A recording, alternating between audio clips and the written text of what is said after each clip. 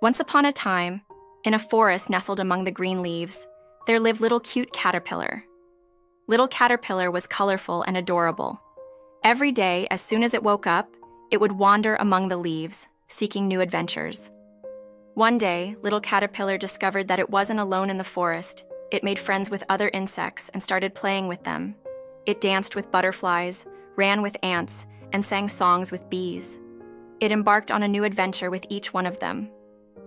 However, one day something sad happened to Little Caterpillar. A storm erupted in the forest, and the leaves that served as Little Caterpillar's home were scattered to the ground. Little Caterpillar looked around sadly, unsure of what to do. Luckily, Little Caterpillar wasn't alone. Its friends immediately came to help. Butterflies flew around Little Caterpillar to protect it. Ants gathered leaves to build a new home. Bees brought sweet honey and comforted Little Caterpillar. Working together, they quickly built a wonderful new home for Little Caterpillar. The new home was warm and safe. Little Caterpillar looked at its friends with gratitude and thanked them.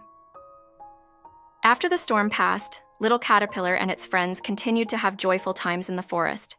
They played together, explored new places, and helped each other. One day, as Little Caterpillar was wandering in the forest, it noticed something strange. A change had begun in its body. Slowly, its body started to glow, and suddenly a magnificent beam of light appeared around it. Little Caterpillar looked around in astonishment and found itself transformed into a butterfly. Its friends watched Little Caterpillar in amazement.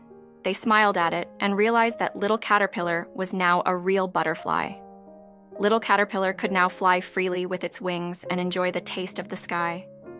And from that day on, little caterpillar ventured into new adventures in the forest as a butterfly. It danced with its friends, glided among the flowers, and savored the endless freedom.